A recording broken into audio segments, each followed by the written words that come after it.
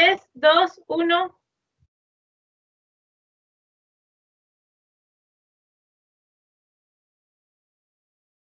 Muy buenas noches. La Dirección de Extensión Cultural de la Universidad Andrés Bello le da la más cordial bienvenida al segundo encuentro cultural.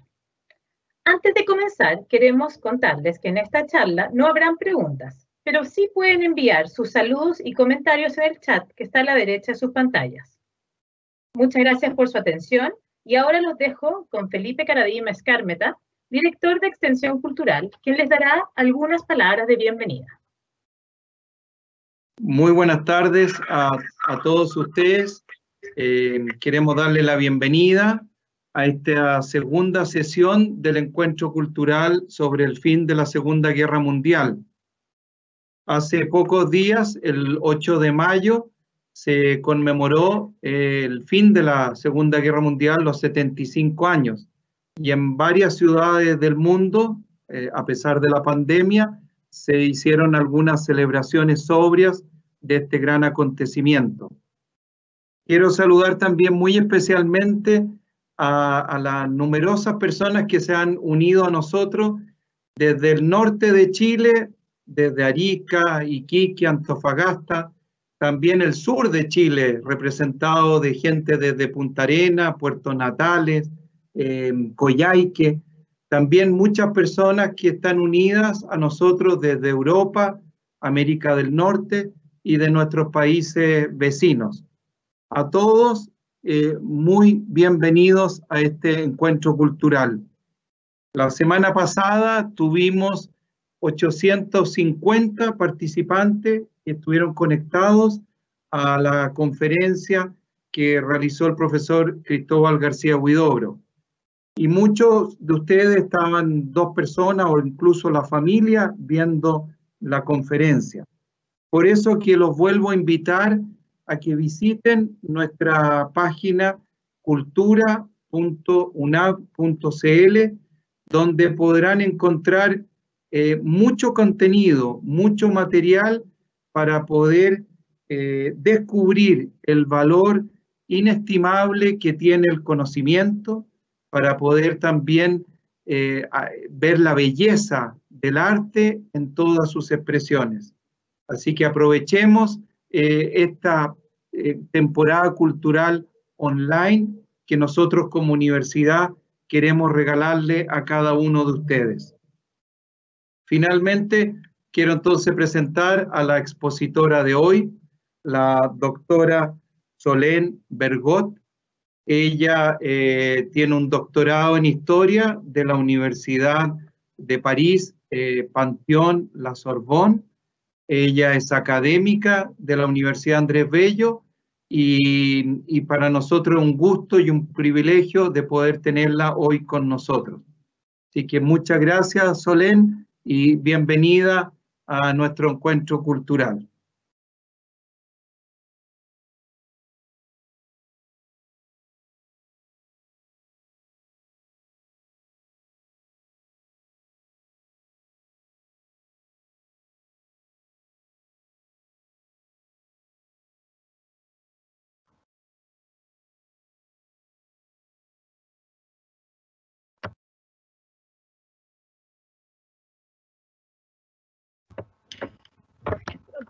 Por mi, por mi desfaz, eh, no estaba muy segura ahí si estabas ya en, en directo o no.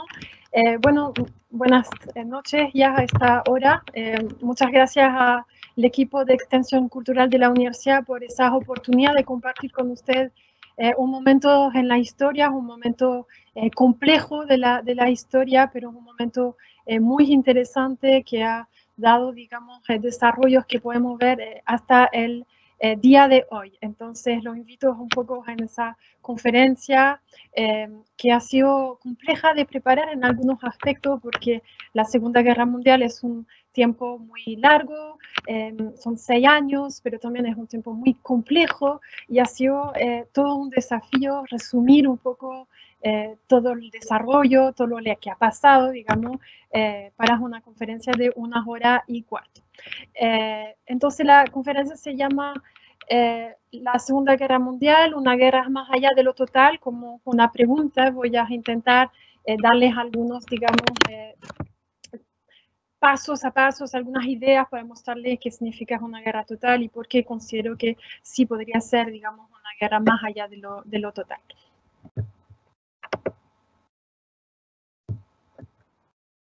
Eh, bueno, primero plantearles un poco eh, qué es lo que pasa finalmente en estos eh, seis años. La conferencia de la semana pasada le mostró un poco todo lo que eran un poco los orígenes de la, de la, de la guerra. hoy en día nos toca ver un poco cómo funciona. bueno, en, en, agosto del 39 estamos ahí frente a una, digamos, Europa ya en la espera de lo que, de lo que va a pasar. Alemania ha tenido una expansión territorial que probablemente ha dado luces a los otros países de lo que se eh, venía a venir. Eh, es interesante ver un poco ese mapa, que no es el mismo mapa, digamos, de la europea eh, actual. tenemos ahí algunos grandes bloques, la Unión Soviética por una parte, tenemos algunos países que van a quedar neutrales durante la, la guerra, España por una parte, eh, con un poco esa eh, salida de la guerra civil que duró entre el 36 y el 39, por ende España no está eh, ni remotamente en condición de aguantar otro conflicto, pero tampoco se quieren alienar ni a, los, a las potencias de los aliados, pero tampoco, digamos, a las potencias del eje con las cuales, digamos, España se siente ideológicamente, digamos, cercana. Eh, otro país que va a quedar neutro es Suiza. Eh, Suiza tiene una neutralidad, digamos, por, por, por eh, podríamos decir, por teoría.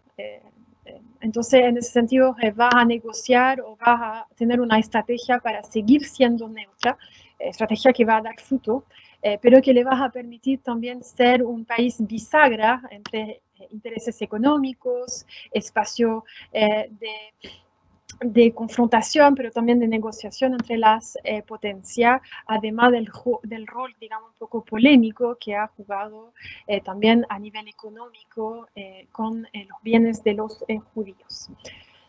Em, entonces, los potencias, digamos, del eje sabemos que son eh, Alemania, Italia y Japón. Esas son alianzas que se conforman eh, en 1936, tanto con Italia como con Japón. Eh, con Italia es una, una, una alianza militar desde el primer momento. con Japón es primero una alianza antisoviética eh, desde un punto de vista más bien eh, político, eh, que se va a volver una alianza militar en 1940. Por otra parte, tenemos los considerados aliados, que son Reino Unido, Francia, Polonia, pero a los cuales vamos a ver entrar y salir, digamos, otros beligerantes a medida que va avanzando el conflicto. aquí tienen un mapa de, del mundo eh, en ese sentido es interesante ver un poco eh, la extensión eh, territorial, geográfica del, conflicto y mostrar un poco esa geopolítica, digamos, de la época, porque finalmente vamos a tener tres frentes muy establecidos. por una parte, el frente principal, que va a ser Europa, pero vamos a tener un frente aquí en el Pacífico con Japón, su extensión eh, em, militar, digamos, y todo el conflicto que vas a tener después eh, para el control de la zona con Estados Unidos, pero también un frente aquí en África, en África del Norte y aquí en África, digamos, eh, oriental. Bueno, Alemania en 1939, después de la, de muy buena exposición que escucharon la, semana pasada, ya tienen más o menos claro cómo llegamos a esa conformación, digamos, territorial, esa, digamos, expansión alemana, eh, que tiene que ver con lo que eh, finalmente ellos consideran, o los nazis consideran, la recuperación de su espacio vital, el Lebensraum en, en, alemán, eh, y que, digamos, lo lo empuja a eh, anexar, digamos, otros territorios donde hay una población eh, alemana. Eh, después de esa extensión que llega, digamos, aquí, la, región de los Sudetes, el Anschluss con Austria, los ojos de Hitler van a estar puestos en Polonia y en particular en la ciudad libre de Danzig, que está aquí arriba, ciudad libre desde finales del, eh, de la Primera Guerra Mundial. Entonces, un poco la excusa, para ponerlo de alguna forma, para invadir Polonia va a ser la recuperación de ese territorio o de esa ciudad libre de Danzig, donde hay una eh, gran población, digamos, eh, alemana. Entonces, ¿cómo vamos a partir? Perdón, es el primero de de, perdón, de, septiembre del 39, eh, ya eh, Alemania invade eh, Polonia con la estrategia de lo que se llamó la Blitzkrieg, es decir, la guerra relámpago. es un término, digamos, militar importante para la época, es una estrategia bien, bien de los alemanes del, del periodo y tiene como dos particularidades. Primero, el movimiento rápido de los blindados, vamos a ver con esa fuerza, digamos, muy puesta en los tanques, la, velocidad, digamos, de, ataque, eh, pero también en la potencia de fuego. Y ahí va a eh, estar más bien en lo que son los bombardeos muy intensivos eh, sobre las principales, digamos, ciudades. la campaña en Polonia dura hasta el 6 de octubre con la rendición del país. Eso desencadena eh, la entrada, la declaración de guerra tanto de Francia como de Gran Bretaña, eh, o de Reino Unido para, el momento, eh, el 3 de septiembre. lo que es sí interesante es que finalmente después de este primer movimiento, la guerra parece pausarse es lo que en Francia se ha llamado la drôle de guerre, la, la guerra extraña, para, para, traducirlo de alguna forma, porque finalmente no hubo movimiento eh, de tropa, o casi ninguna, eh, hasta eh, lo que empezó a hacer la campaña de Francia, la batalla de Francia, cuando finalmente Alemania retomó la, la, la, invasión, digamos, esta vez hacia, hacia Francia, y eso es abril, digamos, de en 1940. Entonces, para preparar esa batalla de Francia, lo que va a hacer Alemania es primero invadir a Dinamarca y a Noruega. También para proteger eh, su frente, eh, finalmente en lo que ellos consideran podría ser la respuesta en particular, digamos, de eh, Inglaterra. Entonces, aquí ellos van finalmente a invadir Dinamarca y Noruega en abril de 1940. Eh, va a ser una campaña extremadamente corta. Eh, Noruega se rinde a los pocos días. Dinamarca resiste quizás dos o tres semanas más, pero finalmente se van a volver estados satélites del régimen nazi y de hecho van a ser incluso estados que van a colaborar en muchas de las políticas, incluso las políticas raciales de, los, de los nazis.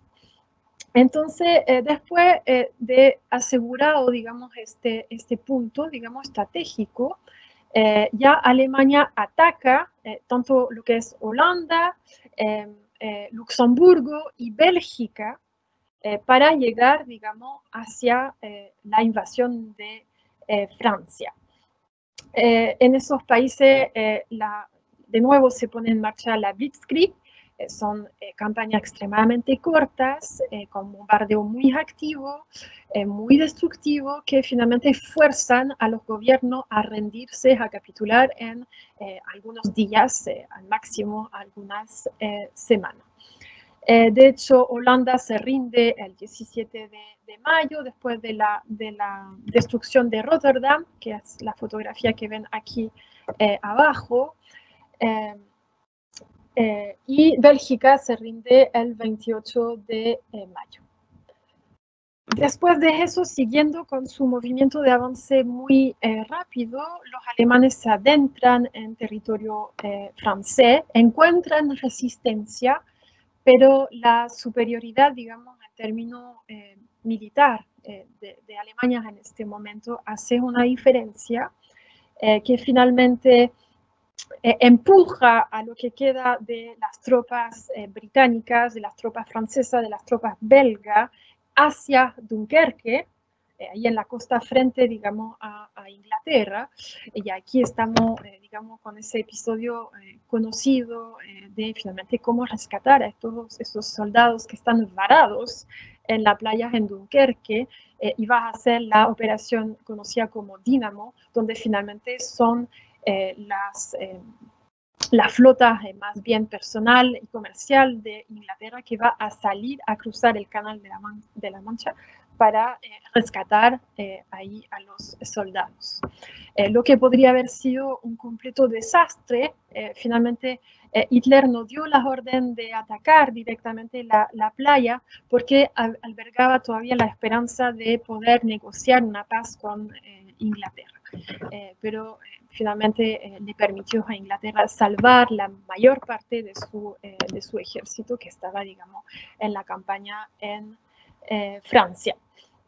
¿Qué significa también? Bueno, ahí vemos, digamos, la entrada de los soldados en, digamos, las distintas como eh, capitales, eh, con desfile, con ya las, eh, toda una simbología, digamos, desplegada, todas las vásticas, etcétera, que finalmente también pone a las poblaciones civiles bajo el yugo de, de, los nazis. Em, después, evidentemente, tenemos el final de lo que es la invasión en Francia, invasión extremadamente corta, una eh, derrota muy vergonzosa para, para, el ejército francés, para la población francesa que ve desfilar eh, a los soldados nazis ahí en los campos elíseos eh, y que va a desencadenar también la visita, digamos, de Hitler a París. Aquí lo vemos ahí con su Estado Mayor frente a la, a la, a la Torre Eiffel. esa rendición tiene lugar en, eh, perdón, perdón, el 14 de junio, se firma el armisticio el 22 de junio, eh, y aquí vamos a ver la instauración de un gobierno de colaboración, eh, también un episodio bastante vergonzoso, digamos, desde el punto de vista histórico en, en, Francia, con lo que se conoció como el gobierno de Vichy. ¿Cómo va a estar estructurado, digamos, el control en Francia? Bueno, vamos a tener una parte eh, en, el, eh, perdón, en el norte que va a estar bajo control directo eh, de Alemania y una parte sur que va a quedar, digamos, con ese gobierno de Vichy y el general Pétain a, su, a su cabeza. ¿Por qué el general Pétain? una pregunta interesante porque finalmente el general Pétain era uno de los héroes de la Primera Guerra Mundial, uno de los que pusieron fin a ese como eh, un poco desgaste eh, de los soldados eh, en las trincheras y tenían un poco la confianza de la población. entonces aquí tenemos, digamos, una, de nuevo una primera como una segunda, digamos, parte que permite a Alemania controlar tanto finalmente, perdón, lo que es como, digamos, el frente como eh, occidental. Eh, lo que sí queda abierto es la batalla con Inglaterra, eh, una batalla que en algún momento Hitler pensó ganar y que finalmente nunca logró ganar, porque los ingleses fueron extremadamente, extremadamente resilientes, hay, que, hay que decirlo, enfrentaron ahí unos bombardeos muy activos, el temor a una invasión, eh, y finalmente fueron el alma de la resistencia en Europa hasta eh, bueno, la entrada en guerra de Estados eh, Unidos.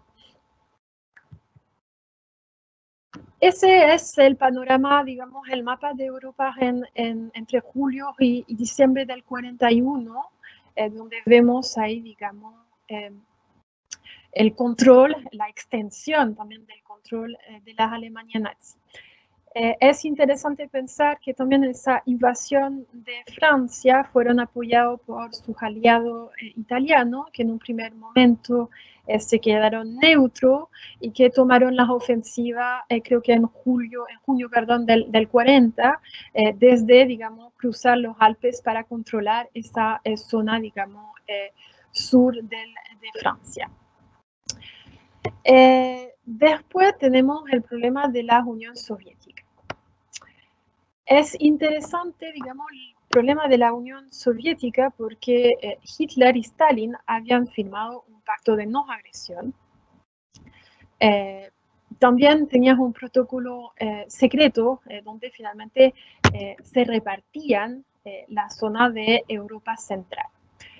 Eh, en diciembre del 40, o sea, perdón, en, el 41 eh, básicamente ya están a tope, es decir, que eh, Alemania avanzó lo más que podía, la Unión Soviética avanzó el otro que podía y ya tienen fronteras comunes. Entonces, desde ya saben que es muy probable que un conflicto vaya a surgir, digamos, entre esas dos, esas dos como potencia. Eh, ¿Qué es lo que finalmente eh, piensa Hitler? Bueno, por una parte, claramente la batalla de Inglaterra no está siendo ganada, eh, hay un polo de resistencia y tiene que securizar, digamos, el otro lado para no estar frente, o sea, para no estar finalmente entre dos fuegos, ese, ese frente occidental y ese frente oriental. ¿Qué es el otro problema finalmente que enfrenta? Que si bien Estados Unidos todavía no entra en la guerra, hay señales que apuntan hacia, digamos, una entrada. Por una parte, eh, han estado, digamos, eh, un poco reclutando, eh, no de forma masiva, pero sí hay indicios y han aumentado su presupuesto, digamos, de defensa, que es otra, digamos, señal clara. Eh, y finalmente cambiaron su estatus desde la neutralidad a la no beligerencia. Y también es eh, finalmente en código militar un avance, digamos, claro. Entonces, aquí está el problema de quién va a controlar los Balcanes, esa pólvora de la de los Balcanes que vimos en la Primera Guerra Mundial sigue siendo, digamos, una pólvora en, en este momento. Eh, entonces, eh, Hitler va a idear en, en, conjunto con su Estado Mayor en lo que se llama el Plan Barbarroja, eh, que es finalmente la preparación a la invasión de, de la Unión Soviética. entonces, aquí em, el, el aquí está la invasión, digamos, un mapa de la invasión de, perdón, la Unión Soviética. Eh, se desencadena en, en, en, junio, eh, va a durar hasta diciembre, eh, porque finalmente Hitler subestimó la capacidad de resistencia y la organización de la Unión Soviética finalmente pensó probablemente en base a datos, digamos, eh, de la inteligencia, eh, de que los eh, rusos se iban a levantar en contra de Stalin, cosa que no ocurrió. Y la Blitzkrieg no fue suficiente, digamos, para dar con la expansión, primero del, territorio soviético y finalmente también la llegada del invierno. no es el primero en caer frente al invierno ruso, eh, finalmente, como pensaba que iba a ser una guerra relámpago extremadamente rápida, no había equipado a los soldados frente a, digamos, a su eh, vestimenta de invierno. Entonces, eh, tuvo que haber una retirada y en diciembre del 41, más o menos, se instala el frente al, al este, desde más o menos la frontera, digamos, de antes de la, de la invasión.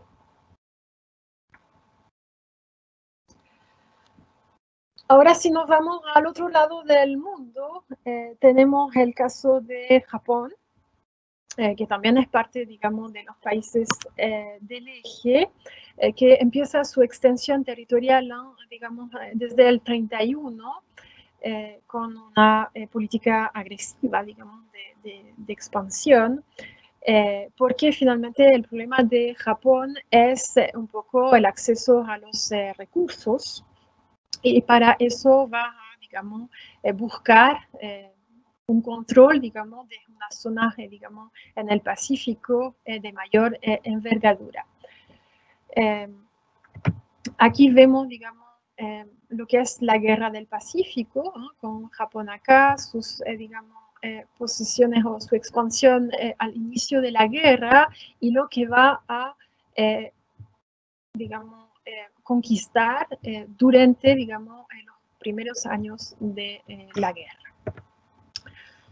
ahora, ¿qué es lo que pasa, digamos, un poco y por qué la decisión de este famoso ataque en Pearl Harbor? aquí, finalmente, ellos tienen el objetivo de neutralizar la flota, digamos, pacífica de, Estados Unidos, que ven como una amenaza para proteger el avance eh, que tienen hacia, digamos, las colonias de Gran Bretaña y de Holanda en la zona, digamos, eh, Pacífico. Eh, ¿Qué es lo que buscan? Básicamente los recursos naturales. Entonces aquí vamos a ver un avance, un avance perdón, en Indochina, en Tailandia, etcétera. Y el 7 eh, de diciembre del 41, entonces toman la decisión eh, de atacar, digamos, eh, la base militar de Pearl Harbor con una destrucción muy masiva de, de, lo que es la flota, una gran, un gran número de bajas en, en, en, los militares japoneses, perdón, estadounidenses. Eh, y aquí tienen algunas imágenes, digamos, eh, de cómo se vio el ataque eh, desde, digamos, la posición aérea. Y aquí, por ejemplo, al medio tenemos un mapa que tenían ahí los japoneses para, digamos, ubicarse, además de fotografías de los distintos buques que tenían que, que atacar. Entonces fue un ataque muy bien planificado, muy sorpresivo para, para Estados Unidos, eh, pero despertó el gigante dormido eso eh, algunos de los generales japoneses también lo preveían. Quizá no era tan estratégico, digamos, era una victoria que les iba a costar, eh, digamos, caro. ¿Cuál es la primera consecuencia del ataque de Pearl Harbor? Es que Estados Unidos declara la guerra al Japón el día siguiente. Eh, y eso eh, le va a dar, digamos, un par de meses, o sea, algunos meses de preparación, obviamente, porque no se trata, digamos, de militarizar y de preparar, digamos, una, una guerra de envergadura de un día para otro, pero sí la declaración oficial, digamos, de guerra eh, se da el día siguiente. Lo que también consideran muy infamante lo, lo los estadounidenses es que Japón atacó a la base sin declaración de guerra eh, previa y es de hecho uno de los, de las, eh, digamos, de los delitos, de los crímenes que le van a imputar a los japoneses después de terminar la, guerra. Aquí tienen eh, algunos de los diarios que recogen ese, ese evento. Eh, para mostrar un poco el eco que tuvo en la opinión pública, una opinión pública que no veía quizá con buenos ojos la guerra, pero que después del ataque eh, cambió de opinión y apoyo, digamos, a la, a la guerra, lo que vemos eh, un masivo enrolamiento, digamos, de, de tropas. En el tercer lugar, además del frente en Europa y del frente en, en el Pacífico, tenemos el frente en, en África. Eh, es un frente nuevo en comparación con la Primera Guerra Mundial, es un frente importante eh, porque finalmente las grandes potencias tienen eh, colonias en, este sector. es interesante porque aquí se van a ver dos, digamos, lugares de, de, combate. Vamos a tener primero la África Oriental, eh, donde eh, las campañas previas de los italianos le habían eh, permitido ganar algunas colonias. Hay que pensar que Italia, por su unificación tardía, estamos hablando ahí de, algo bien entrado en el siglo XIX, no participó de la primera ola, digamos, de, del colonialismo europeo y se tuvo que hacer un poco unas colonias tardíamente, incluso en los años, digamos, 30 es un momento donde los italianos aquí en este frente en particular combaten al primer momento eh, solo. Eh, es importante también pensar en la situación bien particular, digamos, de eh, Italia, porque, bueno, como les decía, se declaró neutro en septiembre del 39, entró en el conflicto armado en junio del, del 40, eh, y va a adquirir mayor protagonismo desde este momento. Eh, primero porque va a eh, tratar de conquistar a Grecia entre octubre del 40 y marzo del 41, con una contraofensiva griega muy, muy muy potente, finalmente apoyado por los británicos y que va a requerir finalmente de que los alemanes vengan a apoyar a sus aliados en, Grecia. Va a pasar lo mismo en, Yugoslavia, en Creta, donde finalmente los italianos invaden en abril y mayo del 41 eh, y su tercer punto de campaña va a ser esa África Oriental, que dura una campaña que dura entre julio del 40 y en noviembre del 41. Eh, aquí se enfrentan a los británicos eh, y es también bueno, importante ver el rol que han tenido las colonias británicas finalmente en el sostenimiento del, conflicto.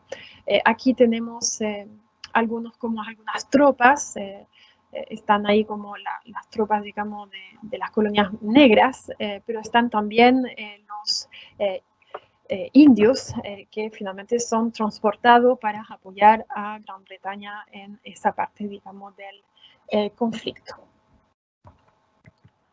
Para hacer, digamos, frente a este nuevo, digamos, desafío militar, eh, aquí, eh, finalmente, como los italianos de nuevo se van a encontrar en problema para, digamos, eh, un poco sobrellevar esa parte del conflicto, los alemanes van a crear nuevas divisiones. En este, este momento en particular son las Africa Corps, si los cuerpos, digamos, en, en África, que son dirigidos por el general Erwin Rommel, que vemos aquí el zorro del desierto, llegó a tener de, apodo, eh, muy organizado, eh, un gran estratega, digamos, eh, para, para, el momento, y también acompañado de las divisiones, digamos, blindadas para cruzar el desierto, etc. como a modo de anécdota, ese es un soldado de las Africa Corps con un poco una modificación también del, uniforme para enfrentar las tormentas en el, en el desierto. Entonces aquí hay una como digamos, adaptación obviamente eh, del uniforme para eh, las condiciones, digamos,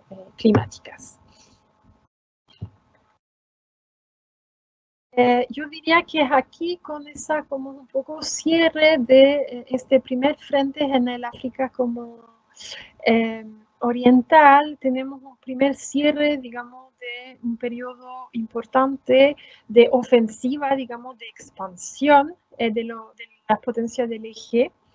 Eh, y que finalmente eh, va a tener un fin con la entrada de Estados Unidos en la guerra, es decir, también la inyección de recursos económicos, de hombres, de material, de armamentos, etcétera, para apoyar básicamente a eh, Inglaterra, digamos, en su eh, lucha.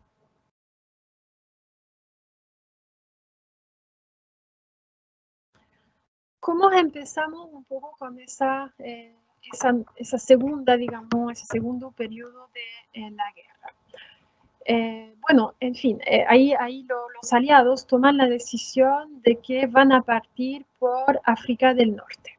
¿Cuál es la situación de África del Norte en finalmente está en noviembre del 42, cuando se desencadena esa, esa operación, es que, bueno, Marruecos, eh, Argelia, eh, Túnez son eh, colonias francesas.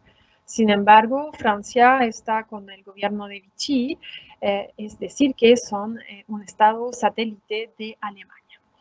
Eh, por ende, van a presionar, digamos, desde este frente, también porque Stalin le pidió que aliviaran la presión sobre el frente, digamos, en, en Rusia.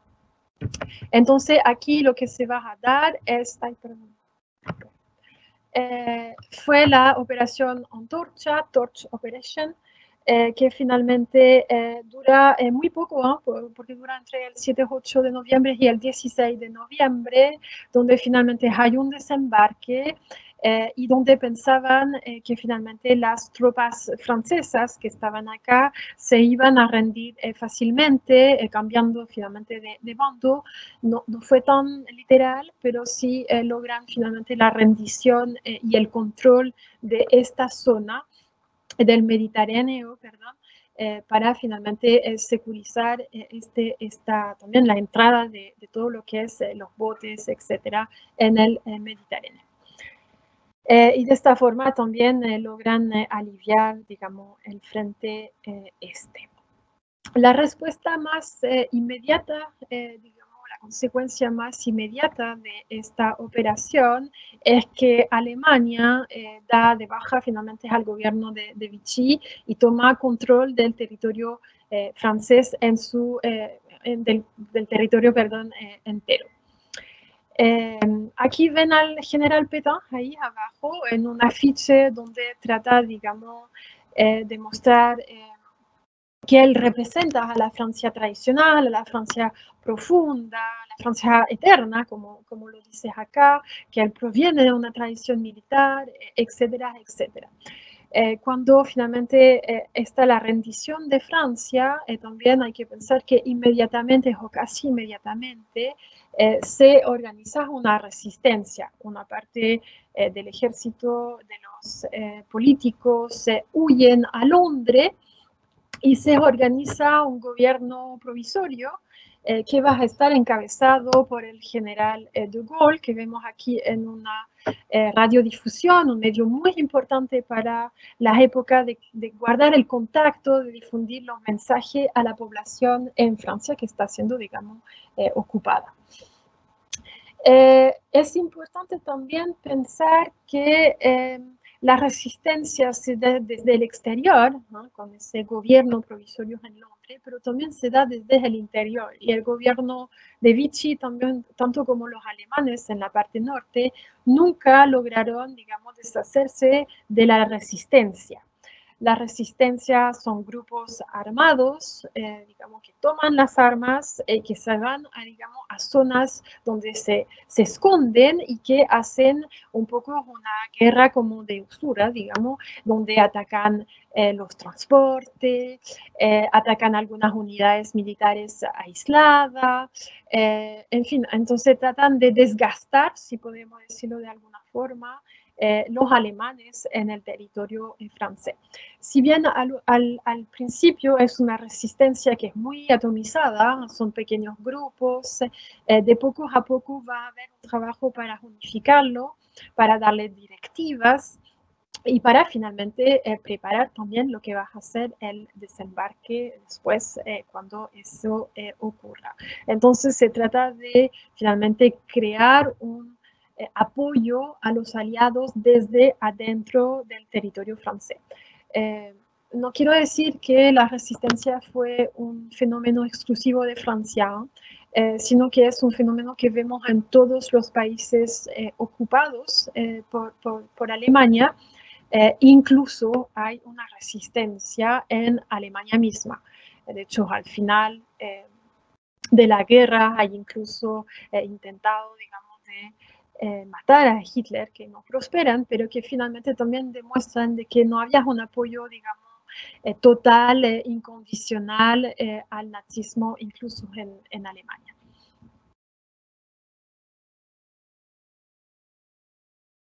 Bueno, después de terminar este periodo en, en, esa, esa, campaña breve en, en, África del Norte, el siguiente paso es empezar a desembarcar en Europa y aquí los aliados van a tomar la decisión de recuperar, eh, digamos, Sicilia, como obviamente parte, digamos, de eh, Italia.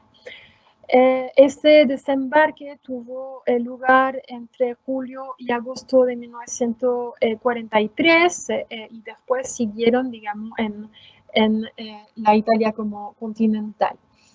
¿Qué es lo que pasa finalmente con ese con esa, ese desembarque es que los italianos van, o sea, una parte de la población italiana, van a derrocar a Mussolini y aquí va a volver el, el rey Victorio, Victor, perdón, Víctor Manuel III, eh, que era el rey antes de la guerra, eh, para finalmente eh, pactar una alianza secreta en un primer momento con los aliados.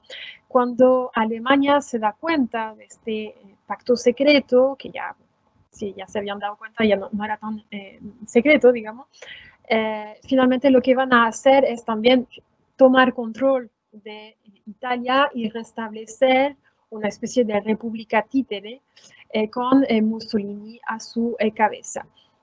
Lo que es importante quizás de esos eventos, en particular de la ayuda constante que tiene que prestar Alemania a Italia, es finalmente el desgaste eh, en términos de recursos que tienen que hacer y que finalmente le quita recursos que podrías asignar a otros frentes. Eh, esa situación genera un caos en, Italia. Hay, hay, bandos que se enfrentan, algunos son leales más bien a, a Mussolini, otros eh, van más bien por el lado de los aliados. Entonces estamos en una especie de situación de guerra civil durante algunos eh, meses y esa situación también va a tener una repercusión sobre las tropas italianas que están eh, repartidas en toda Europa para apoyar a los frentes alemanes. entonces ahí no saben muy bien finalmente si combatir con los alemanes o contra los alemanes y aquí finalmente se va a, se va a, hacer, se va a volver una decisión eh, un poco, digamos, de cada uno o de cada unidad, pero va así generar un cierto, eh, un cierto caos entre la población y entre, digamos, eh, los militares.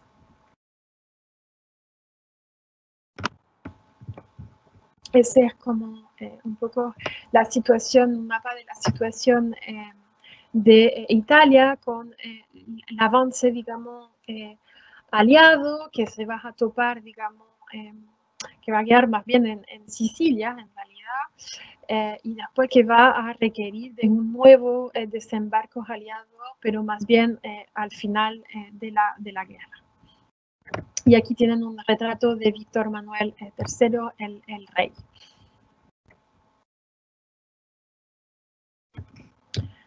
Luego de este, digamos, desembarco, eh, obviamente ya eh, hay que empezar a, ser más agresivo y ahí se va a preparar, digamos, el desembarco en Normandía. Aquí tienen un mapa que muestra un poco todos los movimientos ahí de ida y vuelta, las ofensivas, contraofensivas eh, de los aliados eh, hasta llegar, digamos, en Berlín en mayo del 45. Entonces, aquí lo que se va a hacer es finalmente que Alemania va a estar entre dos tenazas ahí, eh, por una parte el empuje de los aliados desde Normandía cuando se hace el desembarco y por otra parte el empuje de la Unión Soviética que cruza, digamos, toda Europa Central para llegar hasta el territorio alemán.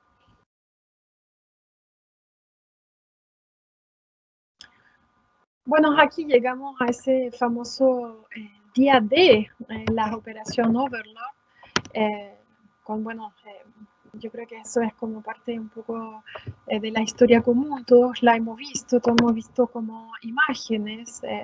se produce el 6 de junio del 44 con un desembarco masivo de tropas, perdón, 160 mil hombres. Eh, que desembarcan eh, en, eso, en ese primer día, que van a estar ahí seguidos por eh, mucho más en los días siguientes, una vez que se logre securizar, digamos, esos puntos de desembarco a costo muy alto de vidas humanas. aquí vemos una fotografía tomada desde uno de los transbordadores que desembarcaron a los, a los soldados, que los vemos caminar hacia la playa eh, una playa eh, sobre la cual espera, digamos, esperan eh, lo que se llamó el muro atlántico, es decir, el sistema de fortificación a través de búnker, a través de trincheras, a través de, digamos, reforzamientos en las playas mismas, que es sumamente pesado, digamos, y difícil de pasar. lo que es también interesante del, del desembarco eh, no es solamente la preparación logística, eh, estaban muy al tanto de que eso iba a ser eh, una operación muy cara en, vida humana, pero también es toda la preparación en términos de contrainformación para que los alemanes no conozcan, de, digamos, no sepan la, la, fecha exacta, digamos, del, desembarco. Se dice que en este primer, se estima, digamos, que en ese primer día de desembarco ya murieron o se inhabilitaron más de 10.000 soldados en el lado, digamos, de los aliados. Son bajas muy, muy, muy pesadas, digamos, en un solo día. Lo que es también interesante recalcar es que se prepararon los soldados para, para esa experiencia, eh, incluso se prepararon con explosiones reales, con entrenamiento, con reconocimiento de terreno, eh, etcétera, etcétera. Entonces, eh, para tratar quizás de minimizar un poco o de optimizar la, las operaciones. A muy grandes costos llegan a París el 25 de agosto del 44 y ahí vemos a desfilar eh, los eh, tanques norteamericanos eh, en los campos elíseos, donde habíamos visto a los alemanes algunos años antes. Es un momento de gran alegría entre, entre la población, pero también es importante recalcar de nuevo el apoyo de la resistencia también con un objetivo político. Es decir, que si Francia estaba siendo liberada también por los franceses, entonces pasábamos, y yo lo digo ahí como francesa, digamos, eh, de un Estado eh, colaboracionista, ¿verdad?, hacia un Estado, digamos, aliado. Y esto en términos eh, políticos también preparaba la postguerra. Eh, los alemanes se van a capitular eh, a los pocos días, digamos, de eh, recuperar o de liberar la, ciudad de, de, París, perdón. aquí también la, la, capacidad, digamos, militar de Alemania en Francia era bastante reducida. Habían unidades de vigilancia como la Gestapo, eh, había unidades eh, más bien administrativas, pero el grueso, digamos, de las tropas no estaba, digamos, en, en Francia, sino que concentrada en los otros frentes. Los eh, últimos meses, entre septiembre del 44, al momento en que se libera Francia, y mayo del 45, cuando llegan a Berlín, son de avance, hay que liberar, digamos, todos los, los países en el, en el camino, todos los que habíamos visto al principio, Bélgica, eh, Luxemburgo, eh, eh, Holanda, etcétera, se liberan, digamos, de, poco a poco hasta que lleguemos, digamos, a Berlín y ahí hacen conexión también y comunicación más directa eh, las tropas eh, de Estados Unidos y las tropas de la Unión Soviética. Mientras queda un poco el caos ahí también en, Alemania, no podemos negar que también eh, eh, los aliados hicieron unos bombardeos muy masivos de las ciudades eh, alemanas, con pérdidas entre los civiles que fueron muy altas. antes de la caída de Berlín, que ya finalmente ya tenían claro que iba a ocurrir, Hitler se suicida el 30 de abril del 45 en su búnker eh, acompañado por una figura que los alemanes conocían muy poco, que era la figura de Eva Braun, que fue su amante durante eh, muchos años y con la cual se casó el día antes de eh, suicidarse. le digo una figura desconocida de, de los alemanes porque no se la veía en actos oficiales, eh, y ella vivía finalmente una vida muy alejada de lo que era eh, la política, eh, las campañas militares, etc. Y aquí vemos el centro de Berlín en mayo del 45. Entonces, la, eh, finalmente la ciudad cae en los días ahí, o los pocos días de, muerto Hitler, y capitulan el 8 de mayo, que es, digamos, eh, la celebración o la conmemoración, más que quizás la celebración, eh, que se realiza en Europa para esta fecha. Sin embargo, si bien ya el frente en Europa, el frente en África, se ha terminado, queda el frente eh, en el Pacífico y queda la situación eh, de Japón.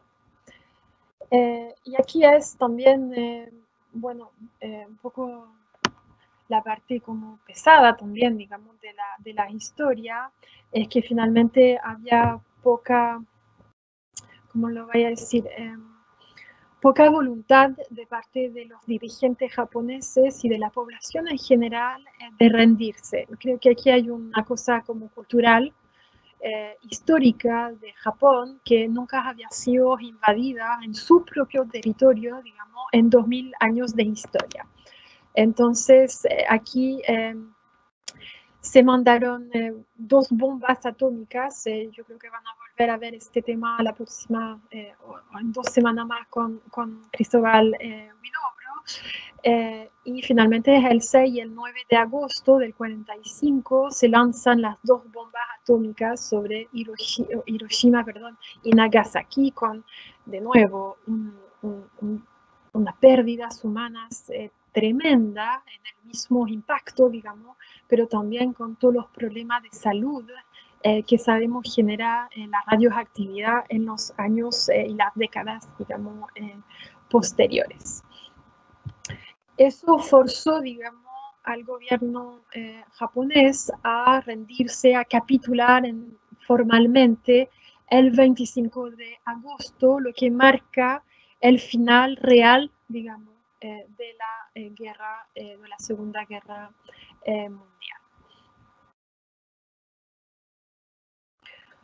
Ahora todo eso es la parte, digamos, militar. Es una parte importante, es un poco, digamos, podríamos decir, la, columna del conflicto, pero aquí es importante que nos preguntemos si esa guerra fue una guerra como con parámetros que habíamos visto en conflictos eh, anteriores. Ahora, eh, ¿cómo calificamos un poco este conflicto? Bueno, este conflicto, tanto como el primer, eh, la Primera Guerra Mundial, fue calificado de guerra total. ¿Qué significa finalmente la, la guerra total? Es un país, o sea, un conflicto, perdón, eh, en los que los países movilizan y fuerzan hasta el límite de, de repente eh, todos sus recursos, todos los recursos disponibles que puedan tener. Eh, esos son los recursos humanos, son los recursos militares, son los recursos industriales, agrícolas, los recursos naturales, tecnológicos, científicos, en fin.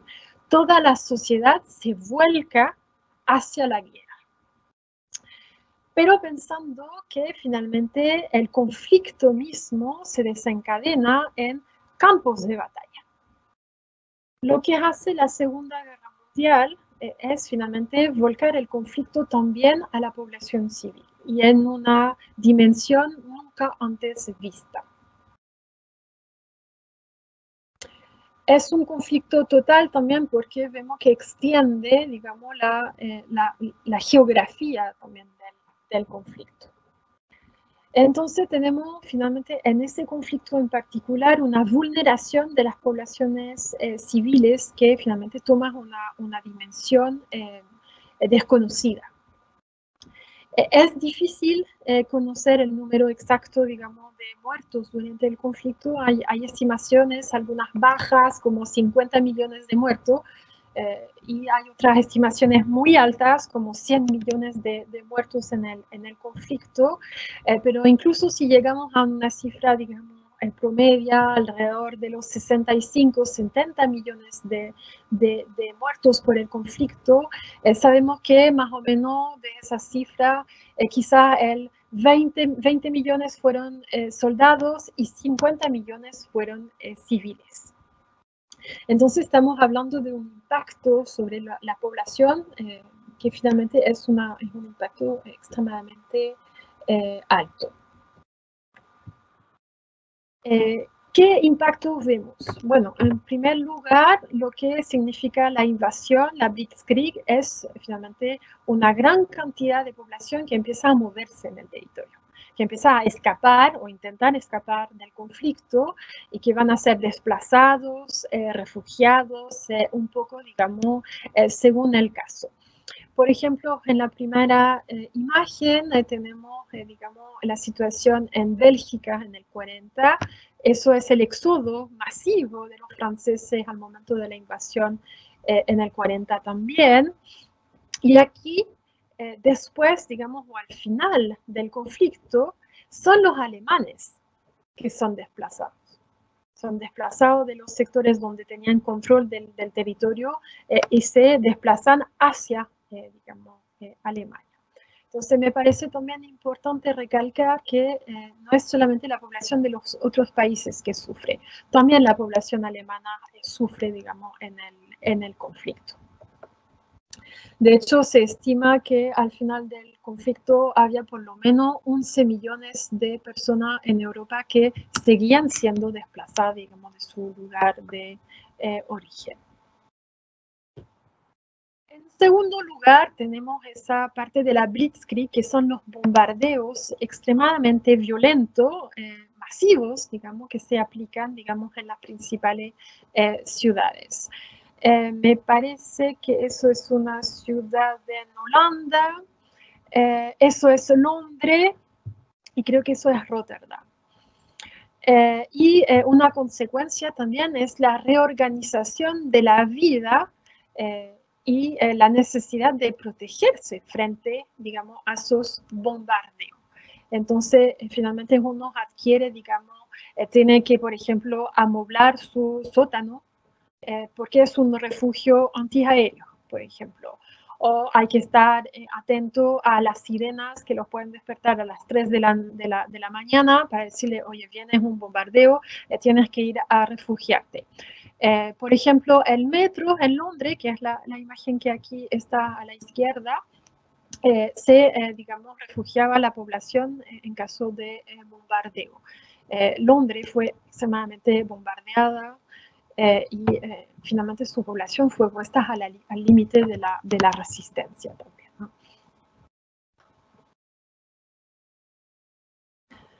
Bueno, y después pasamos a una parte, digamos, que es también eh, muy particular del conflicto, que es el holocausto.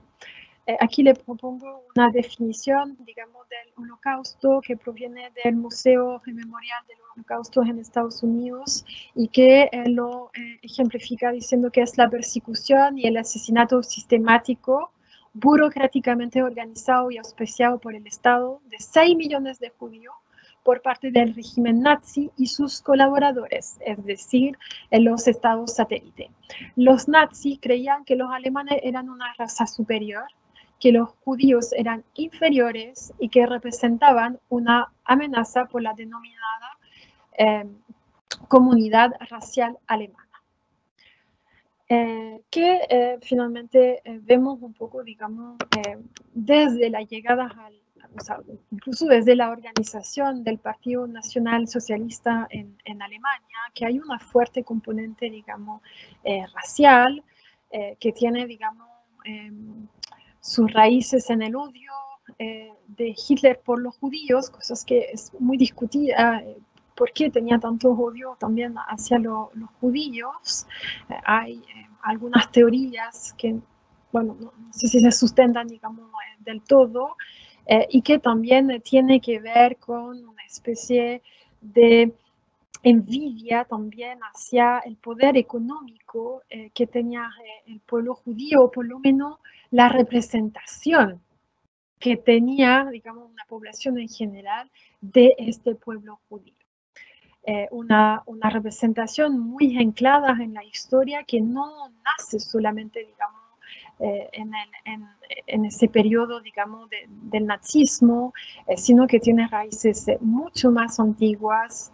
por ejemplo, en la Edad Media, finalmente cuando había una peste, era porque los judíos habían envenenado los pozos. O sea, tenemos algo ahí como muy, muy ancestral, digamos.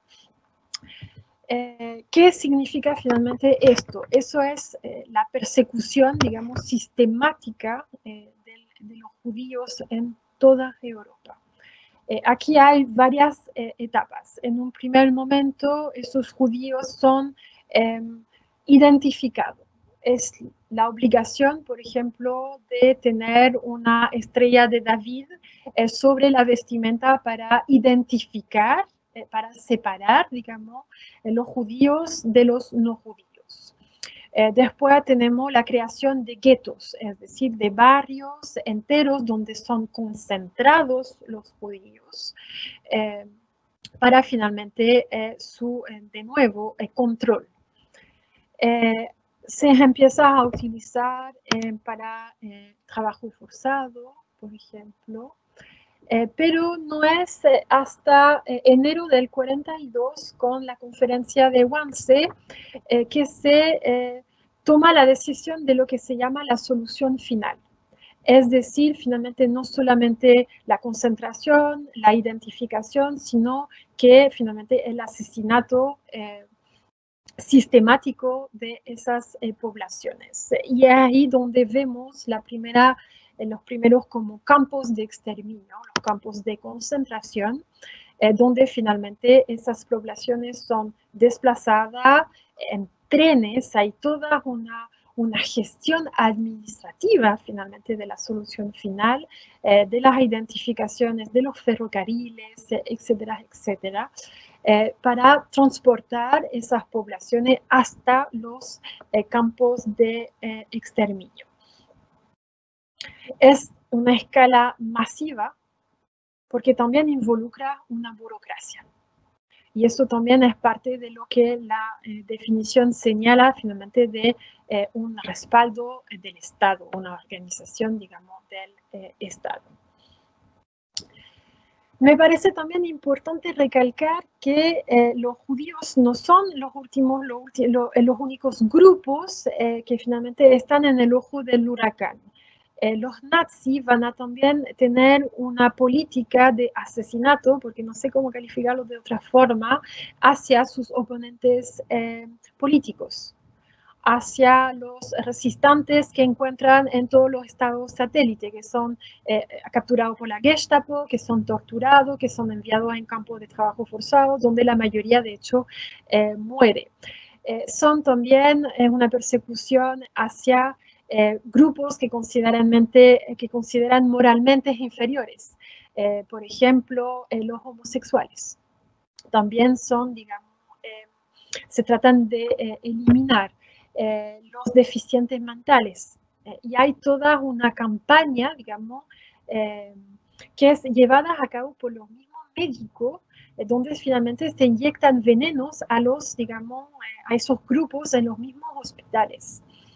Entonces hay una participación, digamos, muy amplia también de la población frente, digamos, a, eso, eh, a esas políticas. Eh, también eh, la resistencia organiza rutas perdón, de escape finalmente para esas poblaciones. Entonces aquí eh, vemos también que tratan de pasar a, eh, por ejemplo, eh, estados más neutrales como Suecia, se van a España, se van a Suiza, se van a, a la Unión Soviética, también pensando, y hay una gran parte que se va, digamos, a Estados Unidos. Pero hay, hay rutas, hay, em, ¿cómo lo vamos a decir? Hay una red, digamos, de apoyo eh, al rescate, también al ocultar eh, a los eh, judíos. de hecho, para hacerle como el, link con Chile, hay una chilena que recibió, digamos, una medalla por su participación en el rescate, digamos, de los judíos en Francia, de los niños judíos en Francia durante la, la guerra, la Segunda Guerra Mundial, que es María Edwards. Em, que es también un poco em, lo, terrible eh, de esta situación, es que eh, la persecución, eh, el asesinato se vuelven una suerte de normalidad. Y aquí me voy a referir a lo que la filósofa Anna Arendt calificó de la banalidad del mal. ella se refirió a, digamos, ese término eh, durante el proceso de Heichmann eh, en Israel en 1961. Eh, Heichmann era el arquitecto, digamos, de la solución final. había organizado, por ejemplo, todo el transporte, toda la logística finalmente de la, de la solución final. se había refugiado en Argentina como es, sabido, Argentina y otros países de Sudamérica mandaron pasaporte para ayudar a los nazis a, escapar y Eichmann fue uno de los beneficiados y él estaba oculto, digamos, con un nombre falso en Argentina y el Mossad, es decir, el, el servicio secreto israelí, lo extrajo eh, de, Argentina para que sea eh, llevado a Israel y sea eh, juzgado. Entonces, durante este, este juicio se pudo escuchar, digamos, desde un poco una primera voz, digamos, la organización de la, de la solución final. Y ahí se refirió a lo que era la banalidad del mal, es decir, finalmente eh, la banalización eh, del mal eh, que responde o que se, se, se justifica porque uno está haciendo su trabajo. Sí, yo maté a judío, pero es porque yo era soldado y entonces lo tenía que hacer. Y lo mismo pasaba en los campos de, digamos, de concentración y los campos de exterminio, donde la crueldad, la deshumanización eran parte del trato, digamos, eh, cotidiano y donde todo el mundo se justificaba diciendo, eso era mi trabajo. Heinzmann, de, de, hecho, lo dice, o sea, yo hice eso porque yo era un burócrata. Entonces, aquí finalmente em, el mal está en no oponerse al mal. Y todos eh, son cómplices, digamos, frente a esa banalización eh, del mal.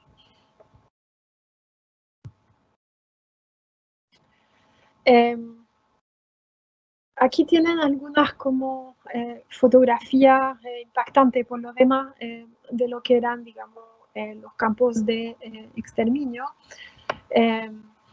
Aquí, por ejemplo, tenemos una eh, fotografía que fue tomada en el momento del levantamiento del gueto de Varsovia en el 43, eh, que condujo a la evacuación masiva, digamos, de la población que estaba acá hacia los campos de, exterminio.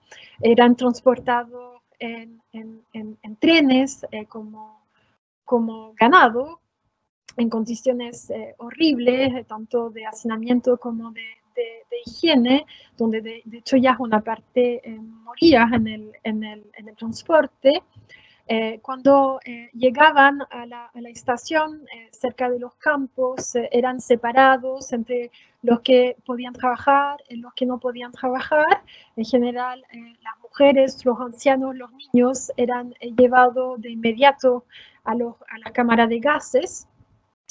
Eh, por ende, en menos de 24 eh, horas ya estaban eh, asesinados, cremados, enterados. aquí tienen la puerta de entrada del campamento en, Auschwitz, que decía Arbeit macht frei, el, trabajo los vuelve libre, de una gran ironía. Eh, aquí vemos, por ejemplo, eh, bueno, una abuela con sus tres nietos que probablemente están camino a la, a la cámara de, gases. Eh, las barrancas donde estaban como alojados en condiciones de frío, de hambre, donde vemos el resultado a nivel físico acá, y eso son fotografías que no son las peores de repente algunos grupos eran separados también para ser sometidos a pruebas médicas. Está el famoso o infamoso eh, doctor Mengele, eh, que hacía, digamos, tratamiento para ver la resistencia al dolor, por ejemplo, eh, amputando sin anestesia, bueno, en fin, con un, nivel, digamos, de, de, crueldad realmente muy espantoso. Eh, y están eh, ahí eh, algunos niños que también eran usados, digamos, en los experimentos, digamos, médicos y que si no eran parte de esos experimentos, entonces eran en general llevados a las cámaras de gases.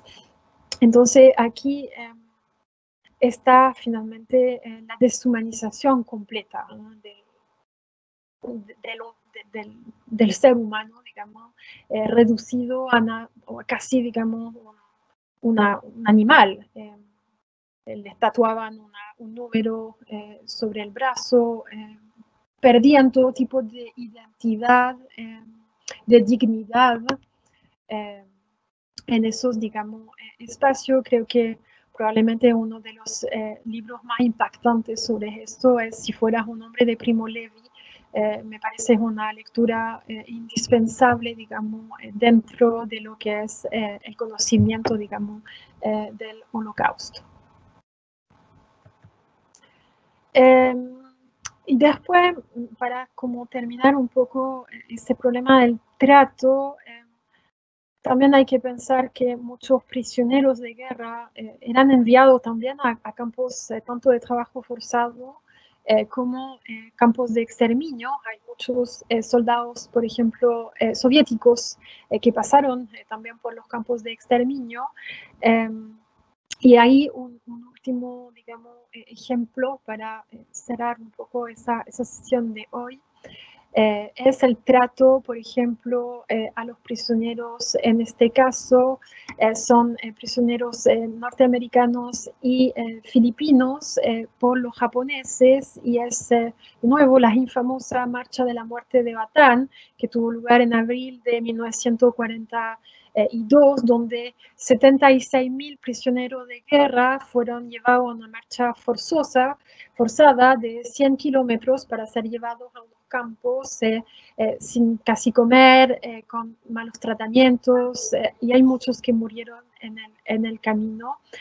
y los japoneses torturaron también mucho en esos campos, y de hecho fue uno de los... De, de, los crímenes de guerra que le, serán imputados después, digamos, de la guerra. Entonces, yo creo que esa parte tanto del, em, del trato a los prisioneros de guerra como a, la población civil em, dio paso a también em, el problema de calificar eh, finalmente esos, eh, esos nuevos hechos, esos nuevos delitos, esos nuevos eh, crímenes, y es lo que tratarán de hacer tanto los juicios de Nuremberg como los juicios en Tokio al finalizar la guerra y que dan un poco paso a lo que hoy en día conocemos, digamos, desde el derecho internacional como crimen de guerra, genocidio, etcétera, etcétera. Entonces tuvo un impacto también eh, en términos como del derecho internacional, en la reformulación, digamos, eh, de ciertos como eh, de ciertos delitos.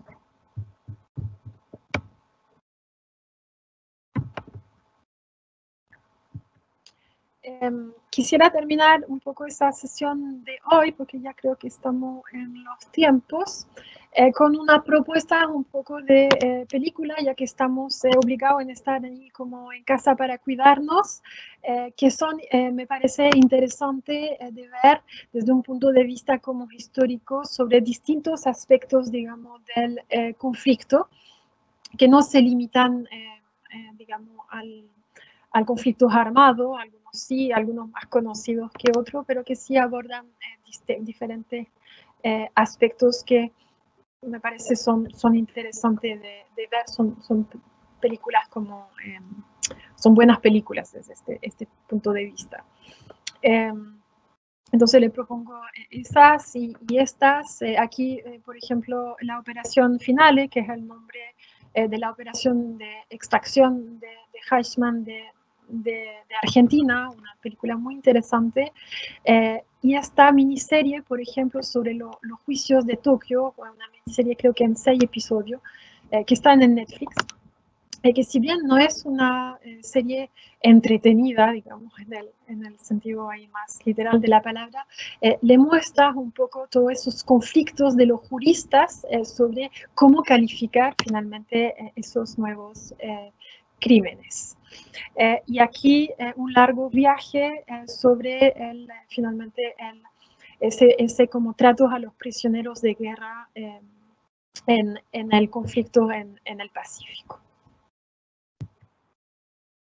con eso doy término a mi conferencia de hoy, agradeciéndole mucho la, la, la participación, la presencia y agradeciendo de nuevo al área de Extensión Cultural de la Universidad por ese ciclo de conferencia que me parece muy interesante.